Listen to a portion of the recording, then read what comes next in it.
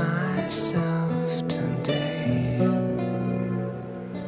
to see if I still feel I focus on the pain. The only thing that's real.